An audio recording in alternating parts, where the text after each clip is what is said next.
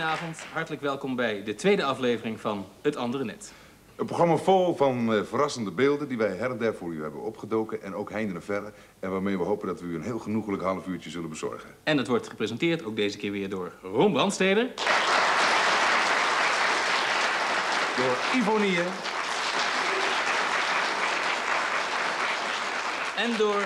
Ja, ze is zoals altijd natuurlijk weer iets te laat. dat zou je Ja, hebben. wacht maar, ik doe het Nou, laat maar. Adelheid Rozen! Ja! Dag Ivo. Hoi Ivo.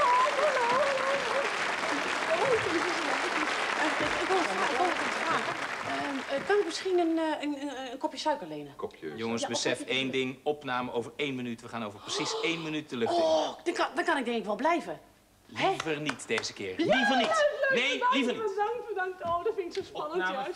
40 seconden na nu. Attentie allemaal. Hebben jullie dan voor deze uitzending die bar nog steeds niet verbouwd? Nog 30 seconden. Staat in alle goede bladen. Stilte! 20 seconden na nu. Licht klaar, geluid klaar. Ik ga even koffie zetten. Jawel, zet me je koffie. Ik sta niet voor zijn beeld, ik sta niet voor zijn beeld. Oh, Ivo, sorry, ik denk niet expres. Ivo, sorry. 10 seconden na nu. Licht geluid. 5, 4, 3, 2. Wat is er? Wil je, wil je koffie?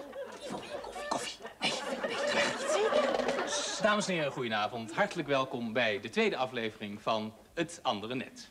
Een eh, dynamisch, dynamisch programma waarvan alles mogelijk is.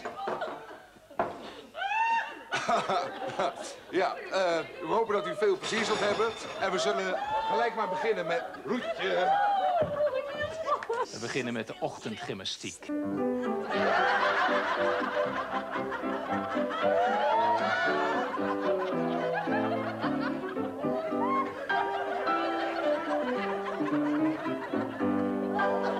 was het goed. Voor de volgende oefening komt u op handen en knieën te staan. In kruiphouding. Ja? Heel makkelijk. De armen recht, handen recht onder de schouders. Bovenbenen recht naar beneden wijzend, de knieën recht onder de heupen. Dat gaat goed. Dan buigt u het hoofd en u drukt de schouders, de lenden, de rug zo hoog mogelijk, zo bol mogelijk op. Kijk naar uw knieën. Handen blijven op hun plaats, knieën blijven op hun plaats, maar de rug bol. Ja? En nu, let u op, nu houdt u de rug wel bol, maar u buigt voorzichtig uw armen. Kan niet te ver, want dan zou u uw hoofd stoten.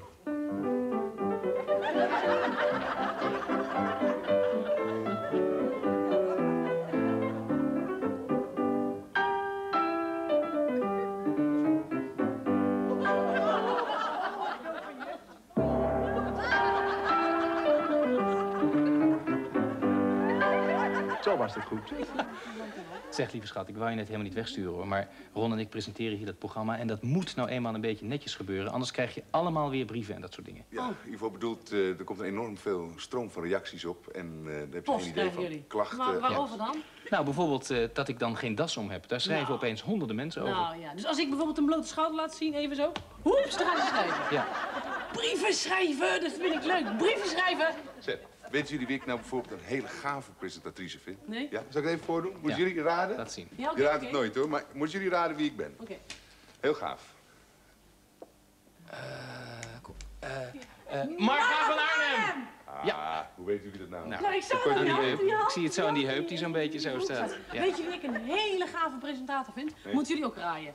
Eh, het is een Belg. Hij van dat, eh, van dat mooie haar. Nou, Echt baard. een mooi haar heeft hij. Nee? Wel? Bobby aanschroepen. Nee, nee, nee, nee. Jan Thijs. En altijd zijn kopje erbij hoor. Denk erop. En dan nu de, het totaal, of tenminste de punten voor de ploeg. Voor het team. Ze verschijnen. 1, 2, 3. Nog eh twee willeke. Nog twee. Ik zie twee eh cijfers, drie cijfers. Zou er eigenlijk... Ik zie er maar drie. 1, 2, 3. Voor Marijn de Valk. Oh, je hebt alles al afgetrokken. Je laat mij de tijd niet. Oh. Voor de radioluisteraars. Een vijf, een zeven, een zeven. Het is alweer weg. Een zeven.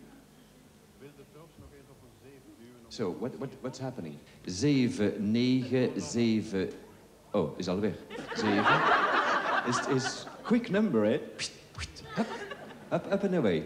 Ja, totaal, totaal. Zes, zes, zes, vier, zeven, nee, vijf, zes, zes. Oh, ik kan het moeilijk zien, al die lichtjes flikkeren hier. Vijf, zes, vijf, ja, geef het op, geef het op. Wat kan niet rekenen, hè? Wat kan niet Maar rekenen. het allerleukste vond ik die keer met Zeversprong. Met Jan Thijs. Dat hij in het water viel. Oh, dat in het water viel. Oh, Oh, dat heb ik nooit gezien. Dat heb ik nooit gezien. Moet je opletten. Hebben we voor je. Komt-ie. Actie. Bravo, meneer.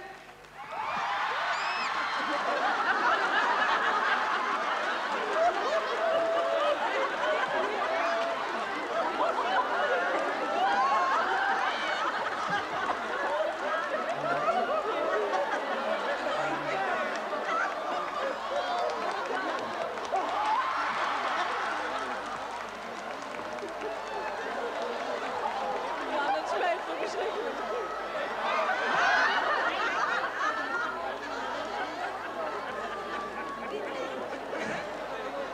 Ja, Jan, ik zal door moeten gaan. Willy, Ja? Neem, je, neem je het over, Willy. Ja, ja. Zal je, hem- zal je hem maar over? Ja, schijn uit.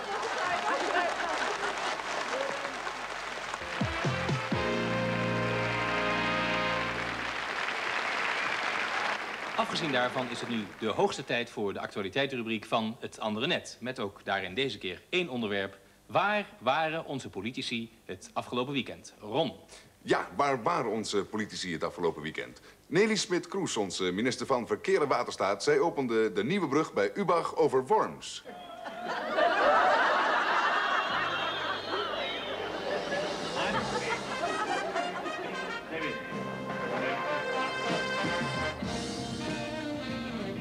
Duo Scholten-Dijkman zakt ex-eco voor rijexamen.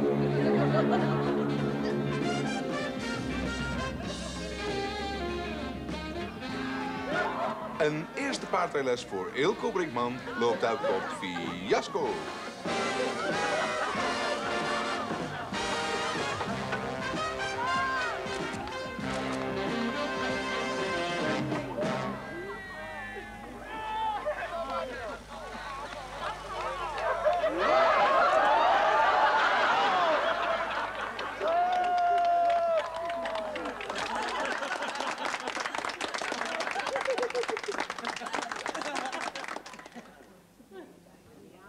Jij bent voorzitter van de Danny de Munk fanclub. Hallo.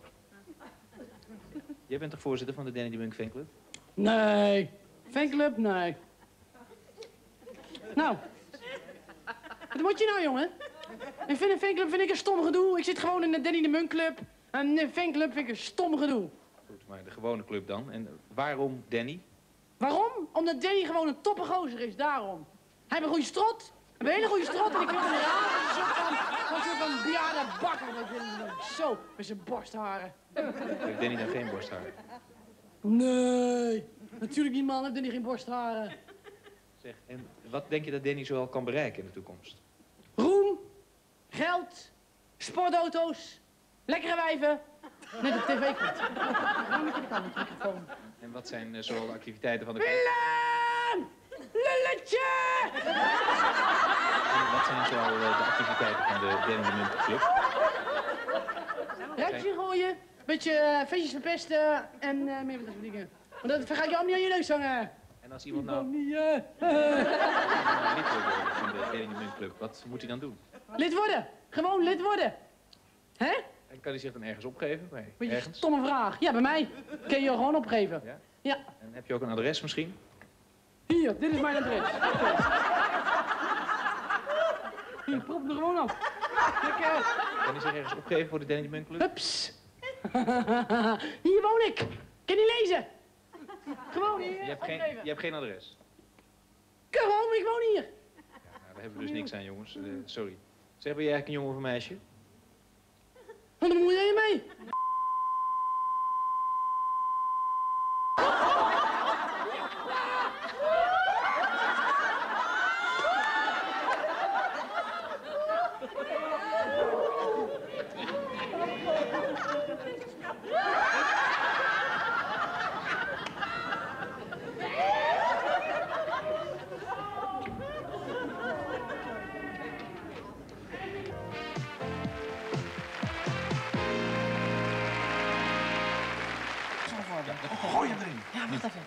Oké, oké. Die oorbellen zijn goed. Ja, Kom op. oké. Zal ik hem nu doen? Nu, nu, nu? doe hem, doe hem. Eh, eh, s- sport voor gevorderden. Ja, nou, ik kan nog iets hebben hoor. Nee, nee. Ik zou hem nog even... Ik vond hem wel Denk aan iets leuks. Ik vond hem. Denk aan uh, Johnny Rep, Johnny Rep. Rep, ja, zeg het dan meteen. Ja, oké. Sport voor gevorderden.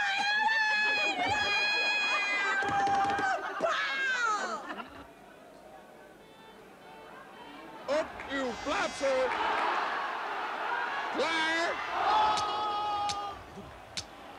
Kom op, kom op. De pistool weegt.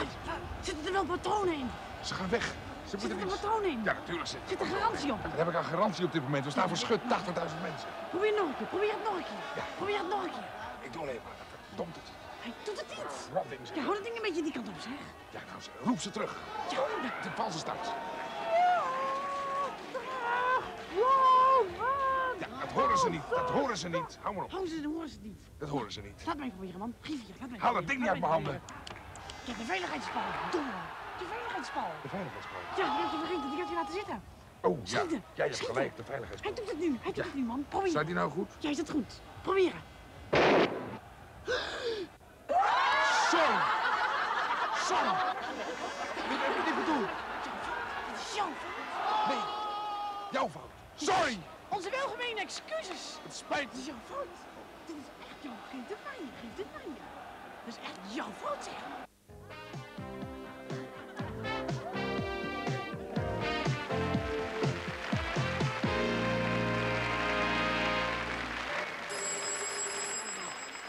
Telefoon. Jongens, telefoon. Dankjewel. Met het andere net, met Ron. Wat? Ah, Karel. Ah, hallo. Hoe gaat het met Ine? Ja, zu Hause ook? Ach, schön. Ja, was leuk dat Sie nog even aanroepen. Vinden Sie es leuk? Onze programma. Leuk dat Sie es leuk vinden. Was? Wir? In de... In de Bundesrepubliek? Mit dem großen Programm. Was? Wie viel? Zo. Zoveel? Ja. Und dat is eh, pro persoon. Und exclusief uh, reizenkosten und BTW. Tja. Ja, moment even hoor. Ja, kom zo terug hoor. Moment maar. Wat is er, wat is er, wat is er, wat is er, wat is er, vertel. Wat is er, wat is er, wat is er? Vertel dan. Wat is er dan? Hij wil dat we naar de Bundesrepubliek Oeh, ik doe het wel. Ik ook, ik ook, ja. Ik ook. Oh, daar ga ik mee, daar ga ik mee. Even zo, pas op. Wat, wat, wat? Het spijt me, maar ik heb al een afspraak gemaakt met Ah, Elsa. doe nou, Ivo. Nee, het kan niet. Eh, eh, laat hem maar Wiebo bellen. Vraag maar of je Wiebo belt. Wiebo? Ja, Wiebo kan het nog wel gebruiken. Ah, is... Sorry jongens, het spijt me. Kan niet. Ja, Wiebo. Voor Wiebo. Ja, meneer Karel. Die bin ich wieder. Ja. Nee, eh, ze kunnen best uh, Wiebo van der Linde bellen. Ja. Ja. Nou, wie kunnen het niet maken? Nee. Schade, hè? Nee, nee, nee. Wie viel eh, waren ze ook alweer? Ja. Ja, niks aan te doen. Ja, wiederhören. Ja, grüße oog. Ja, aufgeroetjen. Ja, wiederschauen. Oh, wat stom.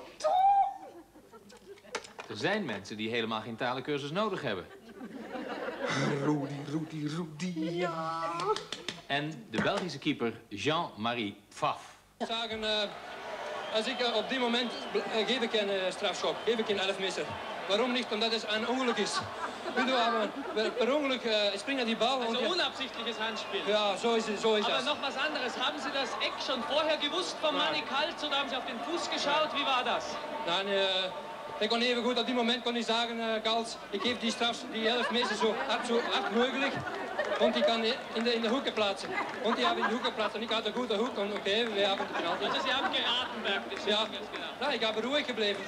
Ik heb uh, in België ook veel uh, elfmeters gestopt. Want ik maak dat hier ook. Sonst im Spiel sind Sie zufrieden im Großen und Ganzen mit dem Unentschieden? Maar ik moet zeggen, ik was uh, zeer müde. Samstag gespeeld.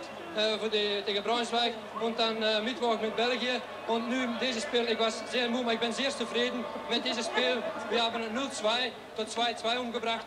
Und als wir noch ein Glück haben, dann machen wir noch ein drittes Tor. Maar ja, das ist Fußball. Aber in der ersten Hälfte müssen Sie mit Ihren Vorderleuten nicht zufrieden gewesen sein. Da war in der Mitte ein paar Fehler und auch im Mittelfeld. Ja, ich muss sagen, äh, diese Spielen die kommt äh, op de goede Moment. Äh, Hamburg haben Mann tegen Mann, äh, Gevecht Mann tegen Mann, sehr gut und sie sind sehr gut offensiv. Sie waren mit mehr äh, Vorspelers dan, dan wij in de eerste helft. Und in die zweite Hälfte hebben wir unser hart laten zien dass wir unsere Zuschauers iets äh, te presenteren haben. Jetzt eine ganz andere Frage. Sie haben in der zweiten Hälfte plötzlich eine blaue Hose an. Ist das der Unterschied? Ja, ik, eh, normaal speel ik in, eh, in ganz mijn blauw, dat is mijn lievelingskleuren. Dus eh, ik, heb mijn, ik heb gedacht, uh, winst de halbzeit, uh, ik neem een andere hoze zoals altijd. Niet zo gek lang geleden, maar het was toch nog in het zwart-wit tijdperk... zagen Ron en ik dit beeld op televisie.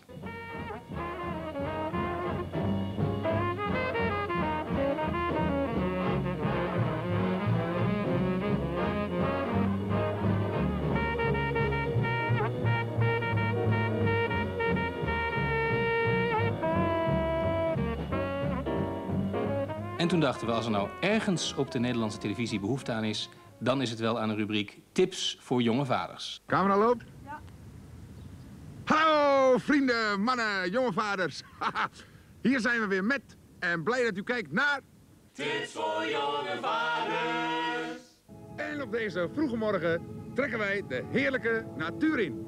Want de kleine spruit moet er af en toe eens uit. Jonge spruiten moeten veel naar buiten. Hé Simoontje? Ha, moeder kan blijven liggen. Maakt niet uit. Even meewerken, schat.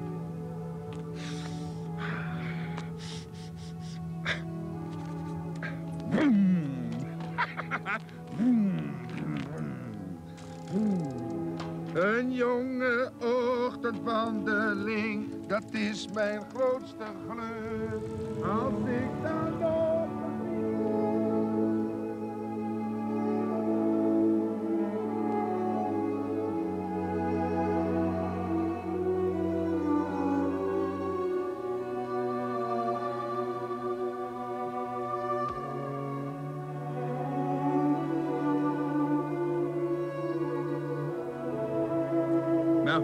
zagen het natuurlijk al lang, hè, boys?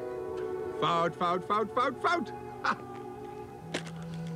Nee, die jonge leeftijd, het zijn al van die kleine donderstenen. Dan denken ze, wat zal er gebeuren? Papa even die kijkt en ik mijn voetje tussen de spaken steek. Nou, dat weten wij natuurlijk wel, hè? En dat willen we niet. Goed, goed.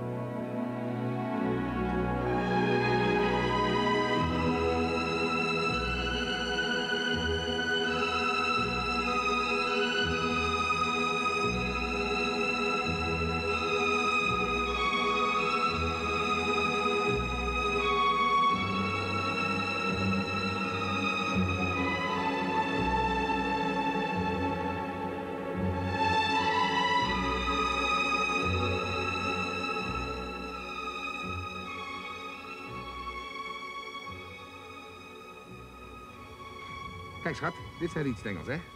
En dit zijn brandnetels. Niet aankomen, niet doen. Nou, en hier hebben we nog meer riet. Kijk, een beetje vader, die kan zijn kind urenlang boeiende verhalen vertellen over de schitterende natuur. En dat zijn de momenten dat je met z'n tweetjes samen te gek gelukkig bent. En dan weet je ook waar je het eigenlijk voor doet op deze knotsgekke aardkloot. Niet dan? Ja toch?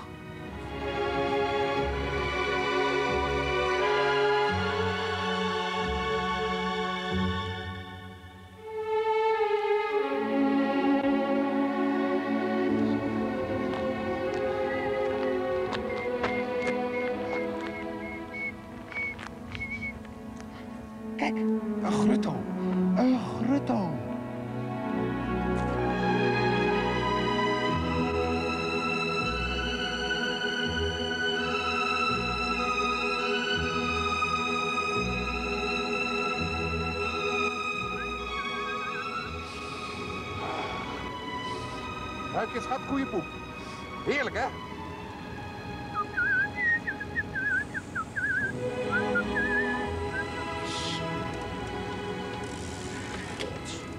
Duizend bommen en een tomaat. Lekker man. Twee lekkerbanden. Nou, dat is ook toevallig. Hoe bestaat het? Maar die lieve pappelepap van jou, die laat zich niet uit het veld slaan, hoor, ben je. Wel, nee joh. U heeft voor hetere vuren gestaan, toevallig wel. Maar goed, eh, het ziet eruit dat ik hier een stief kwartiertje bezig ben. Dus eh, ik had nog wat andere dingen met jullie door willen nemen. eh, over stoplichten en het aaien van koeien en zo. Maar dat bewaren we voor een andere keer maar weer. Nou, ik zou zeggen, hou doeg, hou ze warm en maak er wat van. Wees wijs met de Waddenzee en tot kijk. Oeh.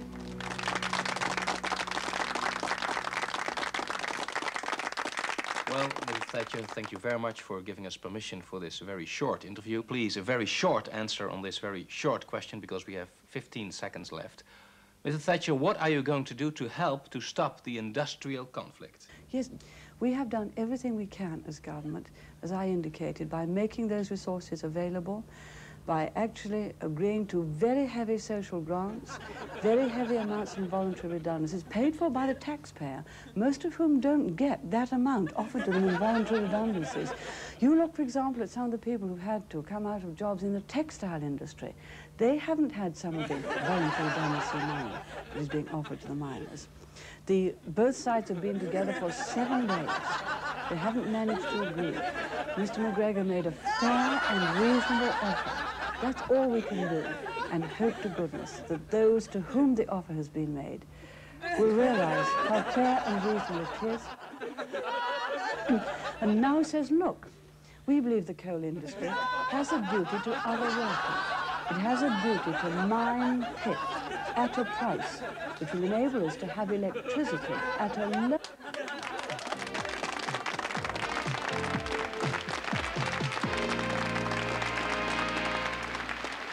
En dan nu.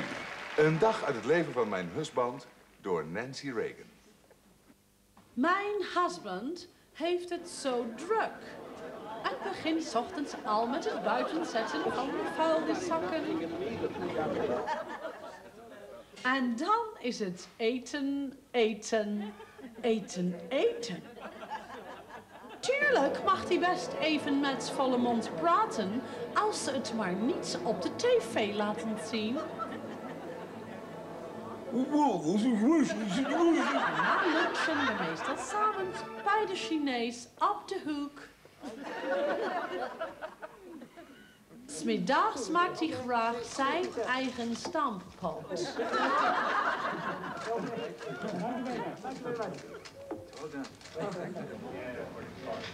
Geen wonder dat hij s'avonds bij de soep al hard toe is aan zijn Rennie. En dan altijd maar weer die interviews.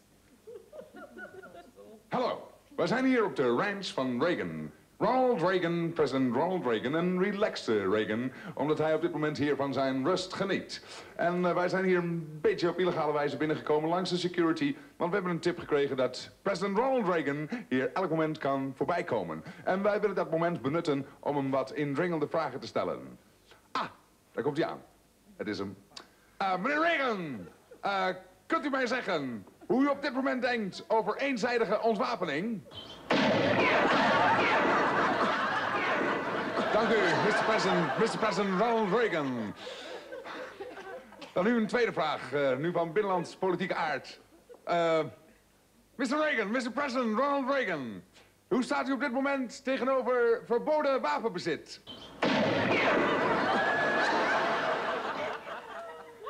Mr. Reagan! Thank you.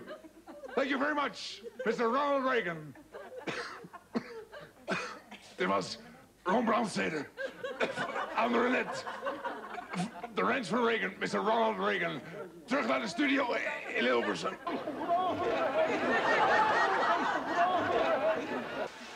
Hij wil wel altijd graag demonstreren hoe goed hij kan regenen.